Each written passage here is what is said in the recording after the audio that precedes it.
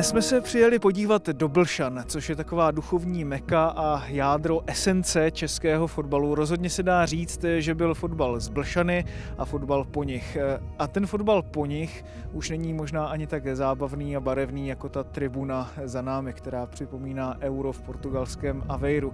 Fotbal se už tu nehraje nějakých 6 let od roku 2016, kdy bohužel FK Chmel Blšany zaniknul. Přesto je nejenom tenhle ten trávník, ale celý areál s šesti hřišti ve vynikajícím stavu, i když se na něm samozřejmě projevil ten příslovečný zub času. No a my se teď podíváme, jak to tady dneska celé vypadá. Průvodcem blšanským sportovním areálem bude dlouholetý pamětník a někdejší funkcionář a dnešní provozovatel areálu pan Robert Janek, kterého můžete vidět tady v té fešné Lila Šustákovce na dobové fotografii. Pane Janku, pojďte nás provést eh, dovnitř eh, této vlastně až historické stavby, dalo by se říct. Jako první. Pojďte se to začalo.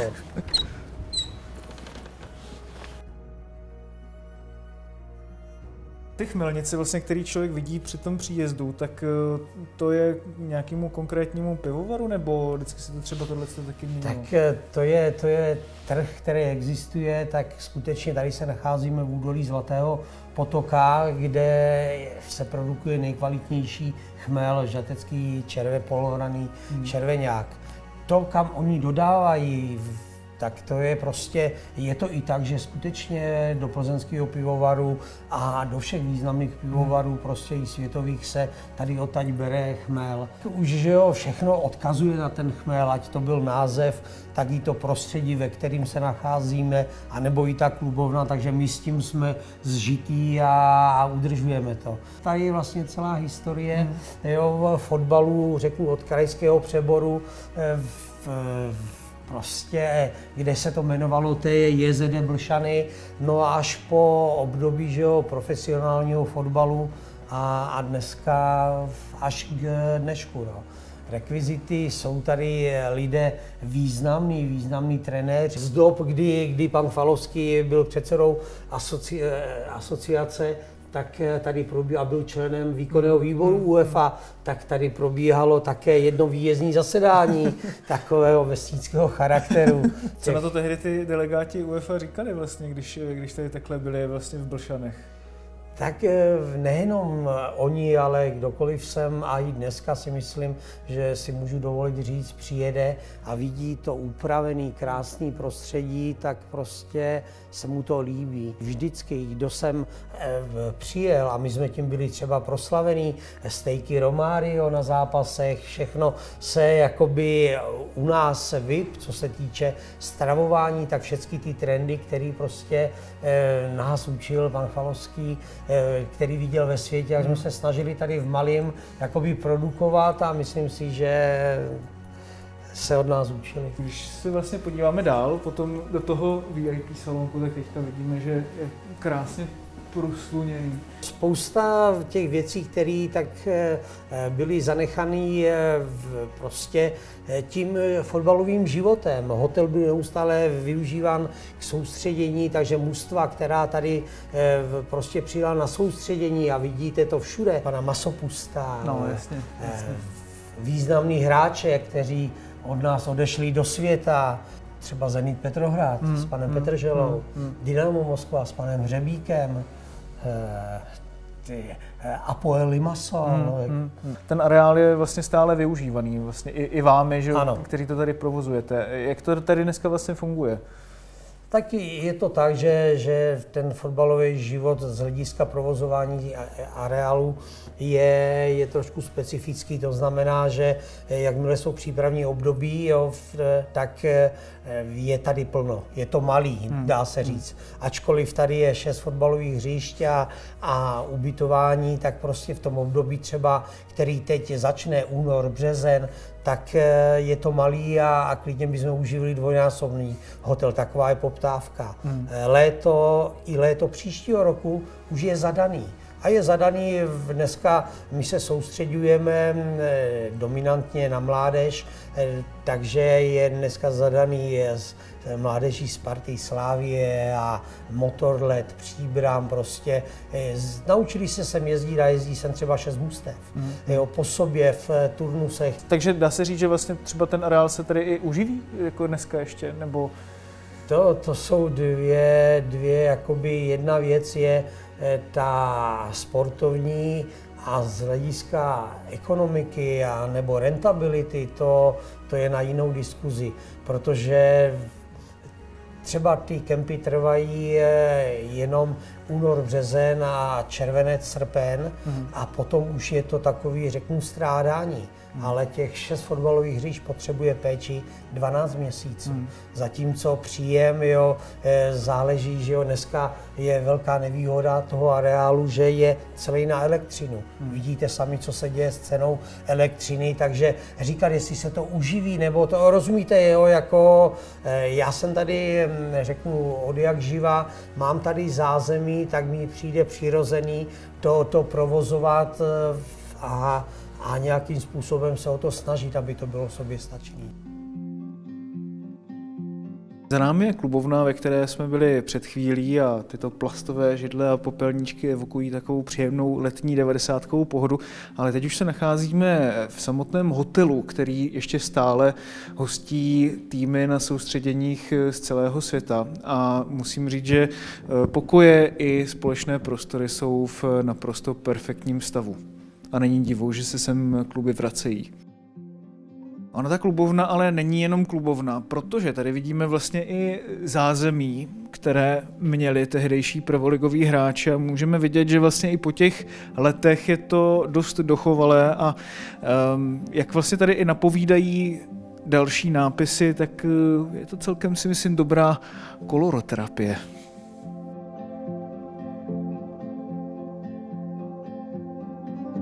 Teď už jsme v útrobách eh, stadionu FK Chmel Blšany a můžeme se podívat eh, dovnitř, jak vypadaly kabiny domácího týmu, ale i toho hostujícího.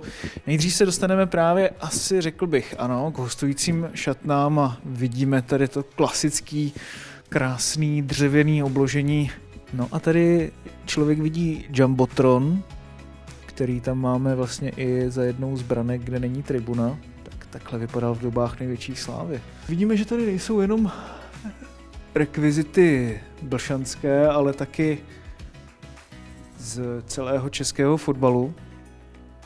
Tady máme nejlepší brankáře, ostatně a ty si František Cholský potrpěl, protože byl sám bývalým brankářem.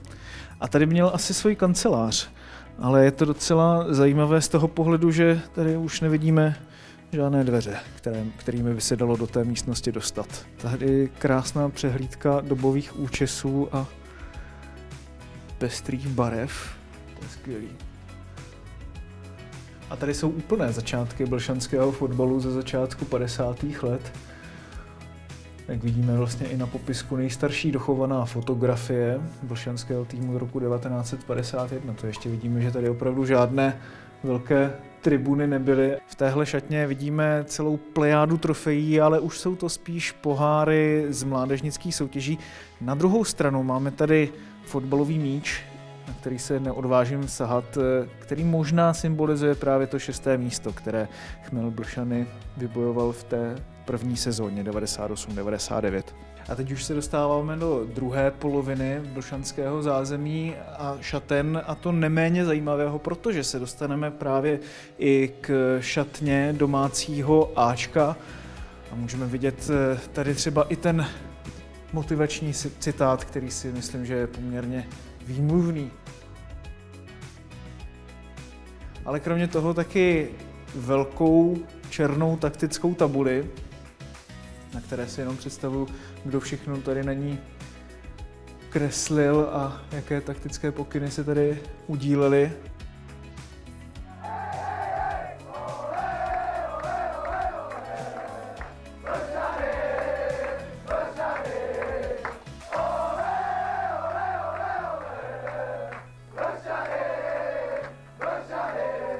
A dostaneme se do možná nejzajímavějších útrop celého zázemí Blšanského stadionu. Jednak tady mají jednu z těch standardnějších šaten rozočí,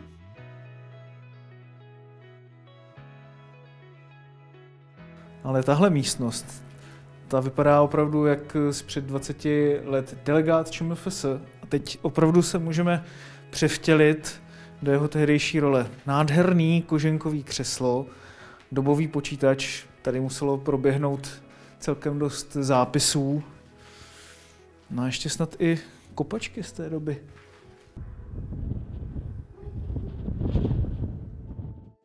Prošli jsme si útroby stadionu a na to, že se tady 15 nebo 16 let eh, nehraje ligový fotbal, tak jsou pořád podle mě v naprosto perfektním nebo alespoň udržovaném stavu, že se mohou měřit i s prvoligovými stánky. Na druhé straně ta tribuna, ta už by si zasloužila trošku nějakou rekonstrukci, přece jenom když se člověk podívá i na to polstrování sedaček v VIP sekci, ta je oblíbená na jakémkoliv eh, starším stánku, tak eh, tady by to přece jenom eh, sneslo nějakou úpravu.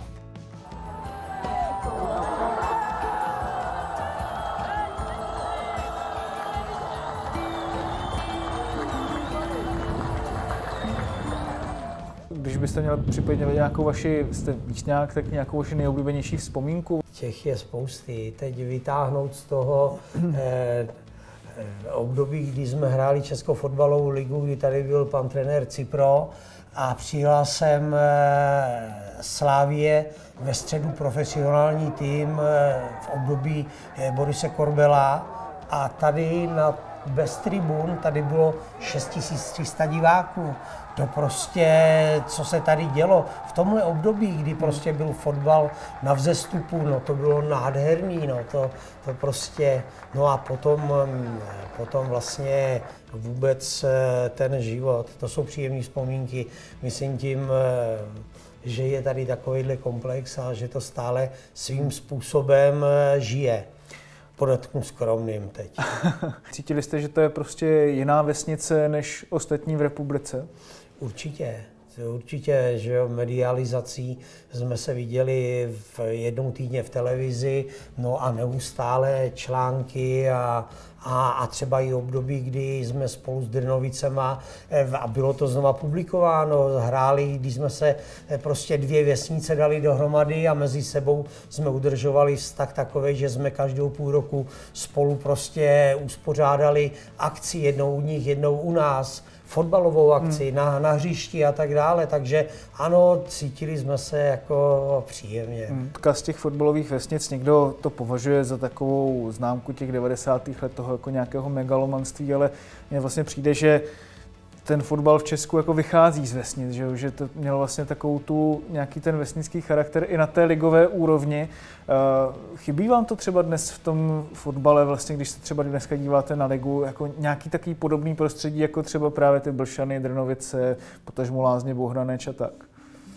Tak uh Myslím si, že kdo se oprostí od nějaký záště nebo takového tendenčního uvažování a soustředí se jenom na sport, na to, co se tady dokázalo, jak lidé prošli Blšanama, jaký fotbalisti tady vyrostli, jo, to, to prostě je obrovská stopa, kterou nám nikdo nemůže vzít. To, že mluví někdo hanlivě, jo, že, že prostě eh, tak eh, neví, o čem mluví. Hmm. Neví. Jo, to, to prostě svoje místo si to vydobilo sportovním eh, postupem. To vždycky, když se vyšetřovaly kauzy úplatku, Blšan byli vždycky poškozený. Hmm. Nikdy to nebylo tak, že tady jsme na tribuně kolikrát kroutili za výroky, jo, každý říkal, no jo, tam se píská Chválovskýmu, nebo vůbec ne. Jo. To, to prostě, eh, co, čeho se dosáhlo, tak se dosáhlo čistou sportovní cestou. Hmm. Každopádně samozřejmě, jak vlastně už na to trošku i narážíte, že si Blšany prošly jako těžkým obdobím, kdy pan Chvalovský už eh, tady nebyl. Um, jakým způsobem to třeba jste vnímali vlastně i ve vesnici, že právě uh, nějakým způsobem jsou ty Blšany vnímané jako negativně?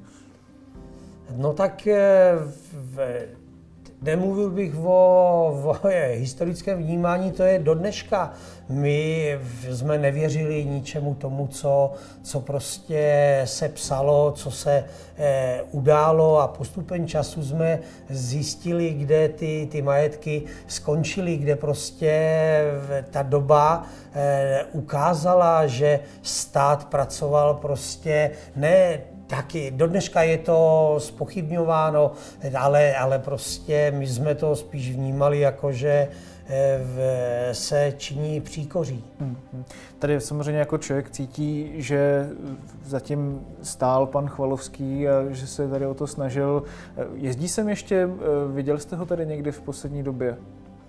Eh, ne, nejezdí už v době, že jo, když byl i fotbalovým předsedou, tak prostě to, to byla organizace, která eh, nebyla dotovaná nějakýma penězma, jak eh, všichni povídají. Tady vidíte i na plagátech částky, za kterých se realizovaly přestupy a ten fotbal si na sebe dokázal vydělat prostředky. To, že potom ta ten život eh, udělal to, že prostě hráči se přestali prodávat, že si prostě na radu manažérů nechávali dojet kontrakty a odcházeli zdarma. Tak to jsme odnesli skutečně jako první, protože pro nás ten zdroj příjmů eh, z přestupu byl dominantní. Hmm. Tak proto se vlastně i tak rychle skončilo. Jasně.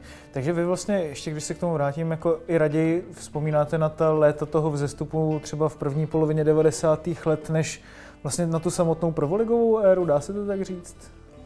Tak eh, ta prvoligová éra, že jo, to, to byl eh, jedna velká starost. Hmm. Ať, ať prostě s mužstvem, tak vlastně se vším. Viděli jste v minulosti, že jsme byli dvakrát, jsme museli opustit stadion.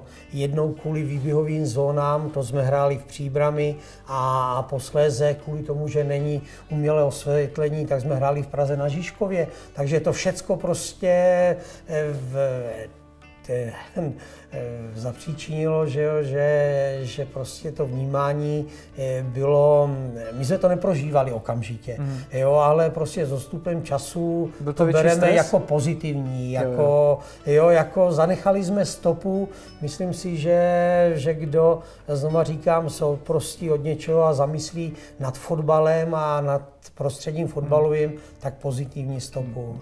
Jak, jakou jste tady vlastně třeba i v, v rámci toho blšanského fotbalu tehdy měl jako funkci? Předseda představenstva eh, při akciové společnosti. Hmm, hmm. A to znamená, že na čem jste třeba měl podíl vlastně během toho? Na každodenním chodu. To... Hmm.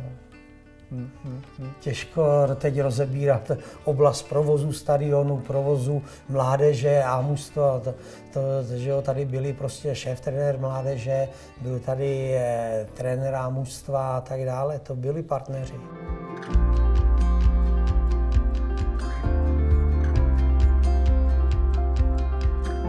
Vy jste starostkou města Blšany a jak vlastně třeba vy sama vnímáte tu, ten odkaz fotbalový, jako zanechalo to pro Blšany něco pozitivního nebo negativního? Z pohledu starostky pozitivního, no nevím, no. Uh, areál do dneška funguje, nebo teď znovu funguje, zaplať pámu za to, aspoň, aspoň když na těch hřištích se hraje, hraje zase fotbal nebo jakýkoliv jiný sport. Uh, tak za to jsem samozřejmě ráda. Eh, stadion, tribuny tak nějak chátrá, to je smutný pohled. Co k tomu dodat, no? to se hrozně, hrozně těžko komentuje. No, jinak říkám, já jako, my s tím nemáme nic společného. Asi bych se mi líbilo třeba to využití větší, lepší. Eh, těžko říct, někdy si říkám, co bude dál s tím stadionem. Máme tady ty obří stožáry s reflektory, které jsou vidět z dálky. Eh, co bude dál? Nevím.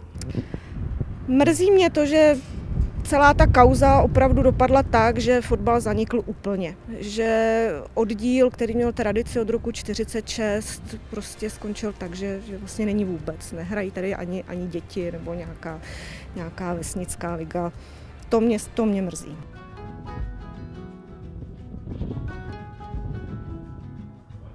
Asi nemá cenu zastírat, že fotbal v Blšanech už své nejlepší a nejslavnější roky má za sebou, o čemž svědčí už i lecos, co jsme teď během této prohlídky viděli. Na druhou stranu nedá se říct, že je tady úplně mrtvo, protože eh, Sporthotel v Blšanech, který vidíme tady před sebou, eh, stále hostí během letních a zimních soustředění špičkové kluby z Česka i ze zahraničí a jejich mládežnické výběry. Bohužel se to děje právě jenom v tomto období. Na druhou stranu třeba najde ještě stadion a celý areál eh, za Chmelnicemi v tomto malém městečku své využití.